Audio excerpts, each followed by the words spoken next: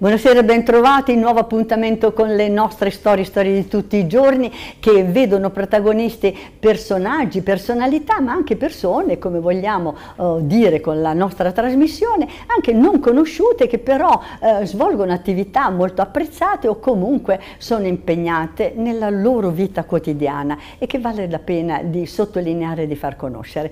Oggi il nostro ospite graditissimo è un artista tutto tondo a 360 gradi, molto molto conosciuto, molto apprezzato a Civitavecchia da tanti anni, ma ormai ha varcato eh, gli ambiti territoriali, è andato oltre i nostri confini. Si tratta di Maglio Midio, cui do il benvenuto oggi, è un ospite con cui ci intratterremo per farvi conoscere meglio, più approfonditamente quelle che sono le sue attività prevalenti. Nasce eh, molto, molti anni fa nel tempo, quindi, ma la sua attività prosegue a tutt'oggi. Io sottolineo soltanto il suo impegno nell'attività un po' sconosciuta e che lui ha rilanciato e di cui parlerà naturalmente, l'attività del riciclo, di recupero di materiali abbandonati, scartati, che possono trovare una nuova vita attraverso proprio l'arte, il maneggio di queste mani così particolari. Allora, ancora eh, benvenuto a Maglio e poi manderemo in onda un video che racconterà un po' tutta la tua storia. Sì, allora, come inizi e come parte la tua passione tanti Dunque, anni fa?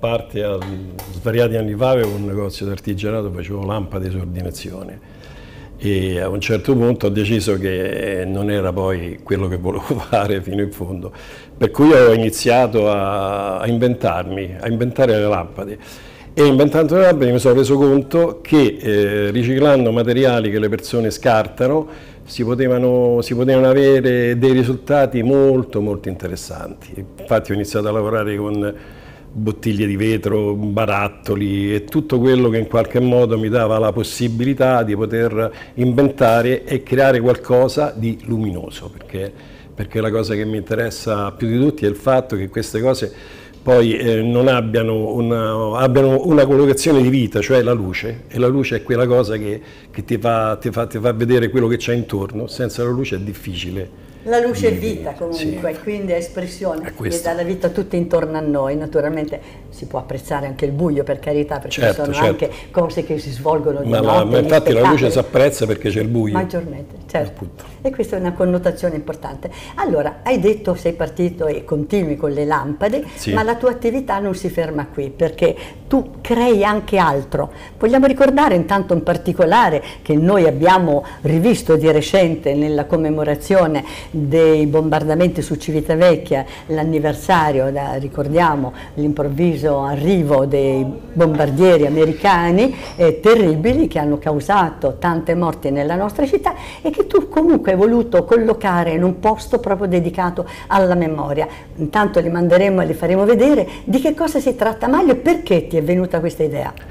Beh, mi è venuta questa idea soprattutto perché commemorando tutti i morti che ci sono stati a Civitavecchia per la quell'immane tragedia e l'idea che ci ha avuto è di mettere delle, delle, sagome che rappresentassero i cittadini civitavecchiesi sotto un bombardamento, quindi, quindi delle, de, de, delle, delle, sagome in legno in quel momento, perché era, era, era, era, il momento più facile, cioè il materiale era più semplice da lavorare, era, il legno. Per cui queste sagome che rappresentano appunto la, la tragedia che si è che si è creata in quel periodo, quindi sono sagome nere che sicuramente sta, eh, sono collocati in un, punto, in un posto interessante perché se guardate intorno a quella, quella, quella collocazione ci sono delle scale che salgono, cioè di, dei tronconi di sale che Ricordiamo si tratta di via Trieste via dove c'è certo. appunto e ancora... pavimento che ancora c'è, ci sono mattonelle a graniglia che si usavano, che si usavano in quel periodo. Sarebbe bello se, se riuscisse a, mettere, a, a, sistemare quel luogo e, fa, e dargli la giusta dignità che, che, che, che merita. Insomma. Sì, oltretutto andrebbe magari, c'è una targa che ricorda, che commemora sì. quell'evento tragico in italiano, di lato, si vede poco, andrebbe magari anche scritta in inglese, in spagnolo, in tedesco, insomma, per dare modo ai numerosissimi eh, turisti che spesso sostano proprio lì di fronte e che non sempre riescono a cogliere pienamente il significato di quella che vuole sì, essere infatti, quella testimonianza. Infatti quelle sagome sarebbero dovute essere retroilluminate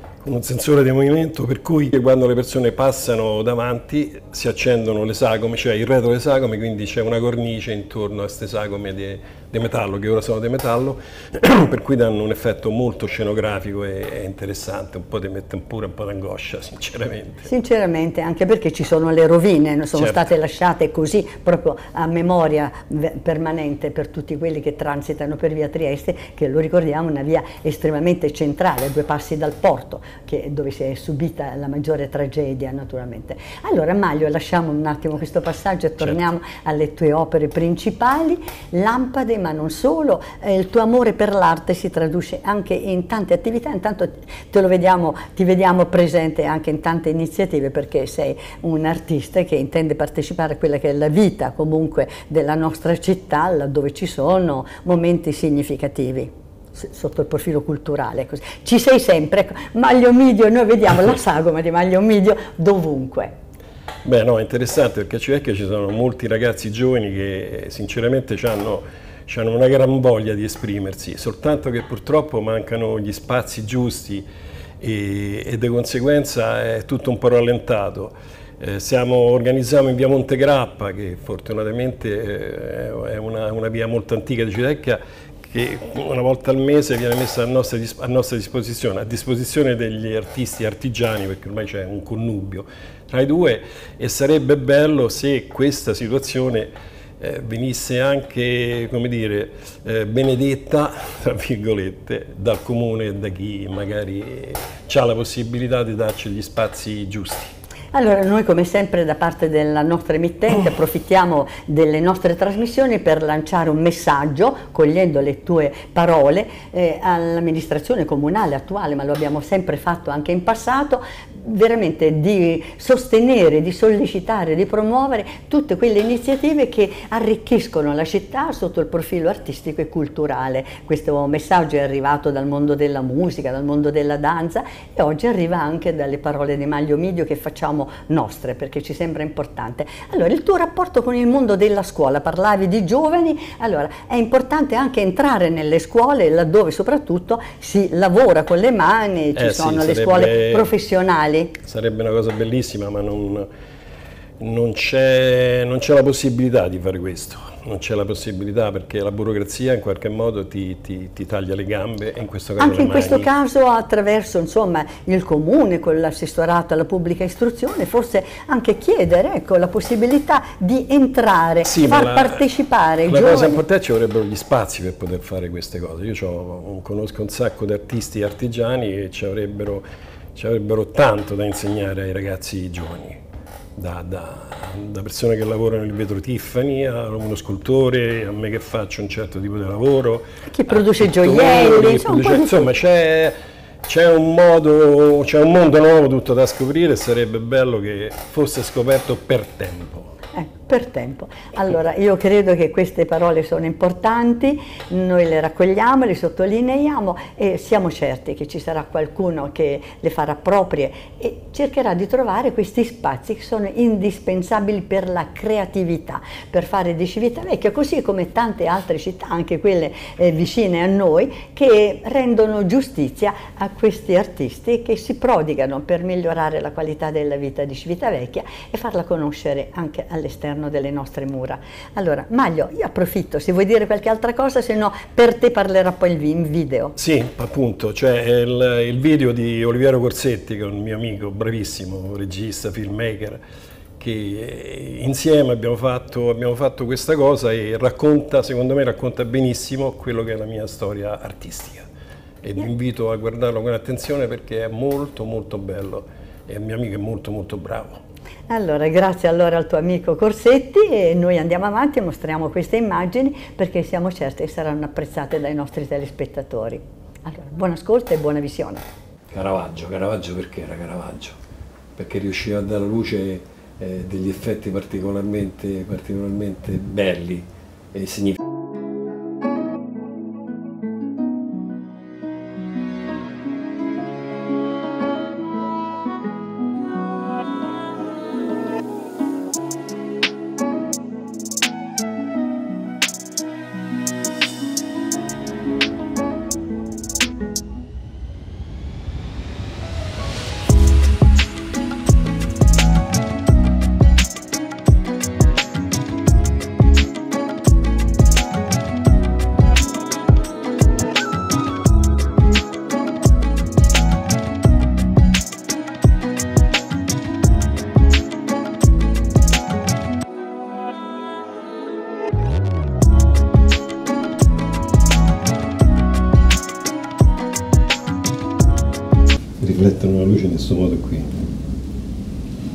Affascina, mi dà proprio la sensazione che ci abbia un'anima, che sia, che sia, che sia qualcosa che vive, che vive di luce propria. Usare i materiali è sempre una sfida, è una sfida perché, perché ogni materiale ha secondo me un'anima.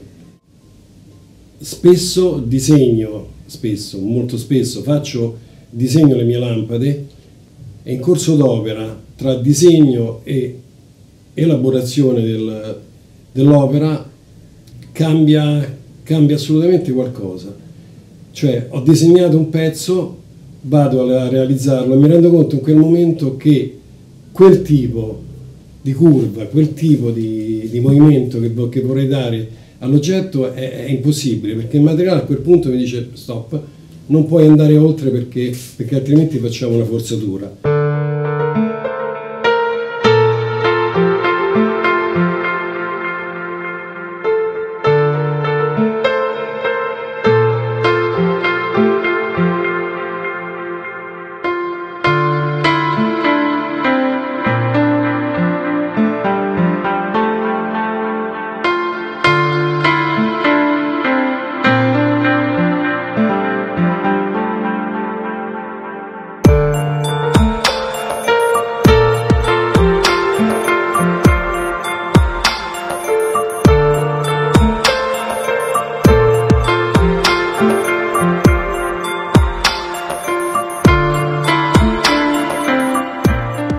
Modo i materiali ti danno, ti, danno, ti danno, un segnale, parlo dei materiali come parlo dei colori, praticamente è come se ti dicessero fermo che più, che più là di questo punto non puoi andare perché io non posso darti quello che tu stai cercando in questo momento. Spesso riesco a, ad adoperare cose che magari eh, altre persone hanno scartato. Mi, mi è successo con, di, di, lavorare con delle biglie di vetro, con dei vecchi lampadari, con delle gocce di, vecchi, di, di, di vecchie lampade e, questo, e questa è una cosa che, che mi intriga, nel senso che quei materiali hanno una storia alle spalle, in qualche modo me la raccontano. Io riesco a, a, a, dare, a dare, loro una nuova vita, quindi usando vecchi materiali che hanno, che, che hanno una, una, loro storia, riesco puntualmente a dargliene una nuova gli oggetti, ma i materiali, come vogliamo chiamarli, che hanno in qualche modo hanno, all'interno hanno all'interno ancora un'anima. Tu magari potresti pure tirarmela fuori, questo mi fa ricordare un detto indiano che in ogni materiale c'è un oggetto, sta all'abilità dell'artista riuscire a tirarlo fuori. È l'emozione, è l'emozione che c'è dentro a quell'oggetto che lo rende vivo lo rende vero e lo rende soprattutto diverso. Diverso. Il lavoro d'artigiano, d'artista è, è un'altra cosa. È un'altra cosa perché investi su un qualcosa che non saprai mai, o perlomeno è difficile sapere se qualcuno poi apprezzerà.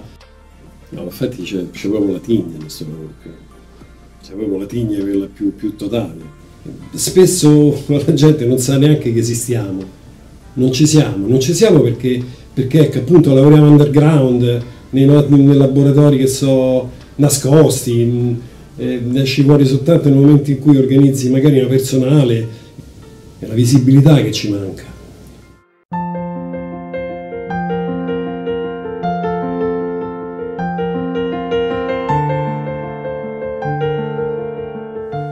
Questo è.